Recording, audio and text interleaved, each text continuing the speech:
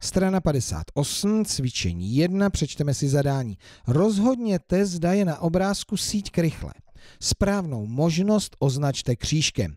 Takže úloha A, prohlížím si tady tu síť, no a já se ji pokusím aspoň graficky složit v tu krychli. Tak začnu touto stěnou a tu položím takhle dolů. Teďka zvednu tuto stěnu, mám boční stěnu krychle, no, možná, že to bude krychle, ještě nevím. Tady tu, když takhle zvednu nahoru, tak budu mít tady tu zadní. Teďka ještě tady ze předu, to budu mít tu přední. A tady ze strany, takže už mám takovou mísu.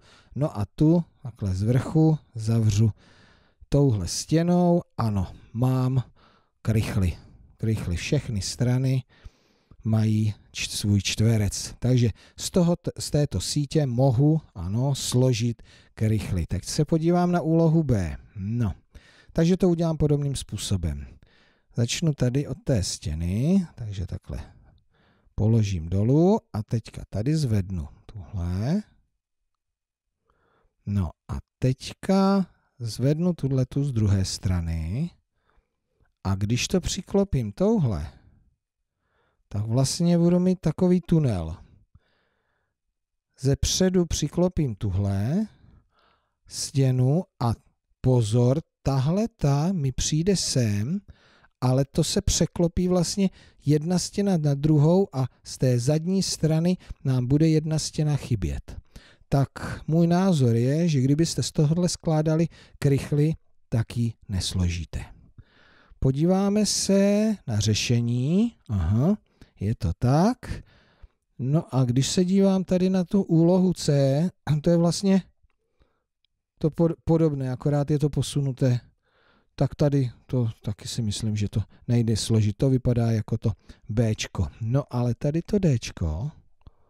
Tady je 1, 2, 3, 4, 5, 6, 7 čtverců a na krychli potřebuju jenom 6. Tak, víte co. Zkusíme to, jestli to půjde složit. Začneme tady. No. Potom zvedneme zadní stěnu, přední stěnu. No a teďka tohleto. Tady z boku, tady, z vrchu, tahleta. No a tady z, z té levé strany. No a tahleta vlastně překryje ještě jednou tu spodní stranu. No, složit se to dalo, ale jedna stěna je tam dvakrát. Na co se nás ptají? Zdá je na obrázku síť krychle. Ano, ale s tím, že jedna strana je tam dvakrát. Já tam dám ano. Krychle se z toho, krychle se z toho složit dá. Řešení? Bezva. Měl jsem pravdu. Ale na složení krychle nám úplně stačí tahle ta síť.